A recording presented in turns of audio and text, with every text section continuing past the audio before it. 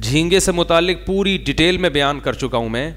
रसूलुल्लाह सल्लल्लाहु अलैहि वसल्लम ने इरशाद फरमाया ओहिल्लत लना मईततान असमकु वल जराद कुरान से साफ़ पता चलता है कि हमारे लिए मुर्दार खाना जायज़। बोलो भाई, नहीं है। ज़बा जानवर जो भी होगा, ज़बा करके खाना पड़ेगा। मुर्दार हला हराम है।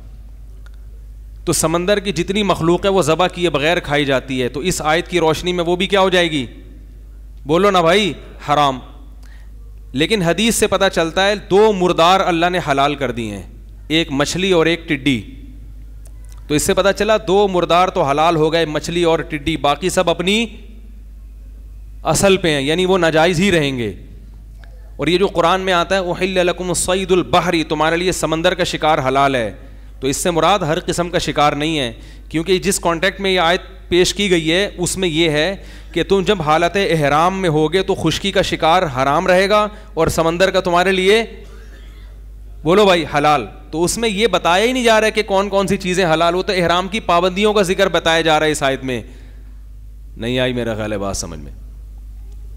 तो इसलिए समंदर में जो मछली है, मछली उसके बारे में हदीस है कि आप सल्लल्लाहु अलैहि वसल्लम ने फरमाया कि हमारे लिए दो मुर्दार हलाल हैं, दो मुर्दार। एक मछली और एक टिड्डी। पता चला बाकी मुर्दार अपनी असल पहले जो कुरान में जिनका है कि हर किस्म का मुर्दार हलाल है। एक दलील तो ये। दूसरी दलील ये है कि रसूलुल्लाह सल्लल्लाहु अलैहि वसल्लम और सहाबा और ताबीन हालाँकि अरब एक जजीरा है, तीन तरफ़ से समंदर में ढका हुआ है तो उनके पास तो बहुत ज़्यादा जो आप देखें बांग्लादेश समंदर में ढका हुआ है ना तो बहुत ज़्यादा समंदरी मखलूक खाई जाती है वहाँ पे। तो जो इंडोनेशिया, वहाँ समंदरी मखलूक बहुत। तो सहाबा कराम जो अरब में रहते थे, वहाँ भी तीन तरफ़ क्या है? समंदर है। लेकिन हम देखते हैं किसी एक ज़यीफ़ रिवायत में भी नहीं मिलता कि किसी सहाबी ने या रसूल सल्लल्लाहु अलैहि वसल्लम ने या किसी ताबी ने, कोई सिका ताबी हैं, मछली के अलावा कोई चीज़ खाई हो उन्होंने। तो अगर ये मछली के अलावा मखलूक हलाल होती तो सहाबा कराम झींगे भी खाते, केकड़े भी खाते, और जो कुछ समंदर से निकल रहा है, वाफर मकदार में खाते। हम देखते हैं किसी सहाबी से ना केकड़ा खाना साबित, ना झींगा, ना कोई और मखलूक मछली के अलावा। फ़िश खाई है मछली, चाहे बड़ी हो, चाहे छोटी हो। तो इससे क्या पता चलता है? चाहे वेल मछली हो, मछली होना ज़रूरी है। अब हज़रत मुफ्ती तकी उस्मानी साहब, जिनकी हम खाक के बराबर भी नहीं हैं, उनका फतवा अक्सर लोग नकल करते हैं कि वो झींगे को जायज़ कहते हैं। तो वो जिस बेस पे जायज़ कहते हैं, वो बेस समझें। वो बेस ये है कि उनकी राय में झींगा मछली ही में दाखिल है। बात आ रही है समझ में? तो हज़रत की जो शान है, हम तो उसकी खाक के बराबर भी नहीं है। लेकिन हज़रत ही के लेवल के जो दूसरे ओलमा हैं, जो हज़रत मुफ्ती रशीद अहमद साहब थे या मौलाना यूसुफ जहानवी साहब थे, मैं उनका ज़िक्र करूँगा। मैं अपनी बात तो मैं तो छोटा मुँह, बड़ी बात हो जाएगी। इन बड़े ओलमा के मुकाबले मेरी क्या हैसियत?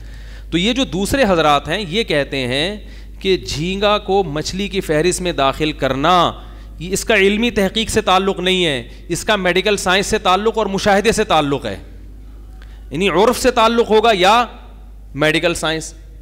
ये झींगा फ़िश में है या नहीं है? तो मेडिकल साइंस ये कहती है कि गधे को इंसान कह देना इतना अकल से बईद नहीं है जितना मेडिकली झींगे को मछली कह देना। ये मेडिकल साइंस की रूह से बिल्कुल अकल से, यानी उनकी रूह से बिल्कुल बईद। वो कहते हैं कि गधे के फिर भी बहुत से आज़ा इंसान के मुशाबे हैं, जबकि झींगा किसी भी एक भी चीज़ में मछली के मुशाबे नहीं है। सिवाय इसके कि वो भी पानी में, ये भी पानी में। इसके अलावा कोई चीज़ झींगे की मछली से नहीं मिलती। तो मेडिकली अगर आप उर्फ़ को देखें, बाज लोग कहते नहीं, उर्फ़ में इसको मछली कहा जाता है। उर्फ़ में इसको मछली कहा जाएगा, मगर समझा नहीं जाता। उस उर्फ़ की वजह से एक चीज़ को दूसरी चीज़ में दाखिल किया जाता है, जिस उर्फ़ की वजह से समझा भी जाए। कहने की बात है तो समंदरी घोड़ा भी है, उसको घोड़ा कहा जाता है तो क्या उस पर घोड़े के हकाम जारी होंगे? एक समंदर में मखलूक है जिसको समंदरी घोड़ा कहा जाता है। हालाँकि वो वैसे ही कह दिया, उसको थोड़ी सी भी मुशाबत तो झींगे को मछली महाज इस मुशाबत में कह दिया कि वो भी किसमें रहती है? पानी में। लेकिन मछली उर्फ़ में लोग उसको समझते नहीं है। इसकी दलील क्या है? आप किसी से कहें कि मछली लेकर आओ, कभी भी झींगा उठा के नहीं लाएगा वो। अगर कोई कसम उठा ले कि अल्लाह की कसम मैं मछली नहीं खाऊँगा तो झींगा खाने से उसकी कसम नहीं टूटेगी। लोग कहेंगे, इसने कसम नहीं तोड़ी। इसने तो कहा था, मछली नहीं खाऊँगा। बात मैं समझा पा रहा हूँ। तो उर्फ़ में भी इसको फ़िश मछली नहीं कहा जाता, और मेडिकली भी इसको मछली नहीं कहा जाता। बात आ रही है समझ में? हमें याद है, हम बचपन में जब जाया करते थे ना समंदर के किनारे, मछली के शिकार का मुझे बहुत शौक था। अभी भी हो सकता है कोई शिकार पे जाए, अल्लाह ने चाह तो। लोग कहेंगे, बहुत ज़्यादा फंटरगिरी शुरू हो गई है, उधर फिशिंग उधर डाइविंग उधर स्विमिंग और फिशिंग भी। करेंगे भाई। ठीक है। अल्लाह तोफीक दे। यही तो हलाल लज्जतें तो यही है ना भाई। तो हम तो कहते हैं, हलाल तो हासिल करो ना। शादियाँ करो, चार किसने कहा है आपको? तो जायज़ चीज़ पे अल्लाह ने पाबंदी, करो अपनी ज़िम्मेदारी पे। फिशिंग में तो मज़ा है, चार में वो नहीं है, पिटोगे भी, ये भी बता दूँ मैं। तो हकूक़ भी हैं उनके, बराबरी भी है, सब चीज़ें खैर, मैं अभी सवाल का मौका दूँगा आपको।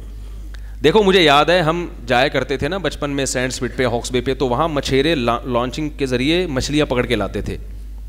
तो बहुत सी मछलियाँ ऐसी होती थी जिनको मछेरे कहते थे कि ये मछली नहीं है, और वो कराहत भी आती थी उनको देखने में। तो मछेरे उनको कह के फेंकते थे, ये हराम मच्छी है। क्या कहते थे? अब देखो, हालाँकि जब मच्छी कह दिया तो हराम नहीं हुई ना, क्योंकि समंदर की फ़िश तो क्या है? हलाल है। लेकिन असल में उनके पास इसके लिए कोई लफ्ज़ ही नहीं था। उस उनके पास कोई डिक्शनरी में कोई लफ्ज़ नहीं मिला तो उन्होंने उसका नाम क्या दे दिया? हराम मच्छी। हालाँकि उन्हें किसी मुफ्ती ने नहीं बताया कि मछली है या नहीं है, ये हलाल है, हराम। उनको लगा कि ये मछली नहीं है, और अजीब सी उसमें कराहत, बू आ रही है, अजीब सी छिपकली जैसी उसकी शक्ल है। तो वो खुद ही बगैर, यानी उसके तहकीक के, क्योंकि लगत लगत का एतबार तो फिर माहरीन का होगा ना तो मछेरे किसे मछली समझते हैं? मछेरे झींगा को मछली नहीं समझते। मछेरे हराम मच्छी को मच्छी नहीं समझते, हालाँकि मच्छी से ताबीर करते हैं क्योंकि उनके पास इस लफ्ज के अलावा कोई दूसरा लफ्ज बोलो भाई है नहीं। मैं समझा पा रहा हूँ अपनी बात। नहीं समझा पा रहा मेरा ख्याल। तो इस बेस पे हमारा फतवा यह है, हमारी राय यह है कि समंदर की सिर्फ़ मछली हलाल है। जो मछली होना उर्फ़ की वजह से मछली लोग उसको समझते हों या मेडिकली उसको मछली साबित कर दिया और डॉक्टरों ने तो इन दो चीज़ों के अलावा हम ये समझते हैं कि बाकी चीज़ों को हाथ, बोलो भाई, बोलो ना यार, ना लगाएँ। मछलियाँ कोई इतनी अकसाम है, खाने के लिए खा लो। और एक और दलील ये भी है कि अगर समंदर की मछली के अलावा भी हर मखलूक को हलाल करार दे दिया जाए तो ऐसा ऐसा गंद समंदर से निकलता है ना। एक तरफ़ कुरान कह रहा है वह हर्रमखबाइस नबी तुम पर खबीस चीज़ों को हराम करने के लिए आए हैं। तो ऐसा ऐसा गंद निकलता है कि गोरा भी कहेगा, ये हलाल नहीं हो सकता तो आपको उसको भी हलाल करार देना पड़ेगा। और अगर आप उसको किसी दलील से हराम करार दोगे तो हम कहेंगे कि जब वो नाजायज़ है, हालाँकि इस कुरान ने तो समंदर के शिकार को हलाल करार दिया है तो उसमें जब ये समंदरी मेंढक भी हलाल हो जाएगा फिर। अगर समंदर का शिकार हलाल है कुरान की उस आयत की वजह से हर किस्म का है तो उसमें मेंढक भी दाखिल है फिर। उसको तो आप भी जायज़ नहीं कहोगे। ठीक है ना? तो इसलिए इस बारे में जो दलाइल हैं, वो मेरे ख्याल में यही ज़्यादा कवी हैं कि सिर्फ़ मछली खा सकते हैं, मछली के अलावा कुछ और नहीं खा सकते। लेकिन चूँकि हम मतदिल लोग हैं, तंज नहीं करते, मैंने एक बयान में ये बात कही तो लोग कहते हैं, वाह, अभी यूँ करो अभी उधर पैंतरा घूम रहो क्योंकि बाकी आइमा कराम मुश्तदीन वो भी हमारे लिए काबिल एहतराम है। वो मछली के अलावा मखलूक को भी जायज़ करार देते हैं, झींगे को जायज़ करार देते हैं।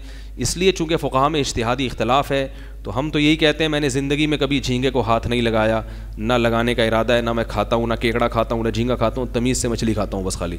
तो लेकिन जो खाते हैं, उनको एक दफ़ा बता देता हूँ, मलामत नहीं करता, क्योंकि ये इख्तलाफी मसला है।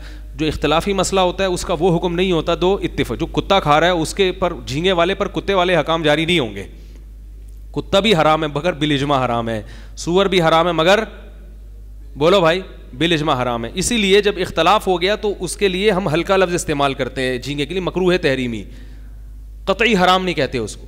मकरू कहते हैं, नापसंदीदा कहते हैं तो हल्का लफ्ज़ थोड़ा इस्तेमाल किया। इसलिए ना, और बांग्लादेश के लोग मुझे कहते हैं कि हम तो नहीं छोड़ते तो वो कहते हैं, हम तो खाएँगे। हम कहते हैं, आप खाएँ। क्योंकि इख्तलाफी चीज़ है, इत्तेफाकी नहीं है।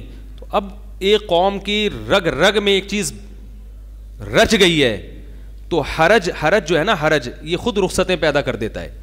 तो चूँकि फ़ुकाहा के माबेन ये मसला इख्तलाफी है मुश्तदीन बहुत से मुश्तदीन इसके जवाज़ के भी कायल हैं तो हम बांग्लादेश के लोगों से कहते हैं कि इस मामले में आपके लिए फ़िका शाफ़ी को फॉलो करना, बोलो भाई, जायज़ है, क्योंकि वो बहुत ज़्यादा उनकी इतना ज़्यादा कि वो दुनिया छोड़ देगा, झींगा। वो दुनिया छोड़ देंगे झींगा नहीं छोड़ेंगे। तो हम कहते हैं, भाई, दलाइल की रूह से तो यही मसला है, लेकिन हज, हरज चूँकि बहुत ज़्यादा लाजिम आ रहा है तो कहीं बहुत हरज लाजिम आ रहा हो तो फिर गुंजाइश का पहलू दूसरे फ़ुहा की बेस पे कौल की बुनियाद पर निकलता है। तो जो नहीं खा रहे वो नहीं खाएँ, जो खा रहे हैं, वो छोड़ दें, और जो कह रहे हैं कि अगर मैंने छोड़ा तो दुनिया छोड़ दूँगा मैं, वो दुनिया ना छोड़ें, ये खा लें।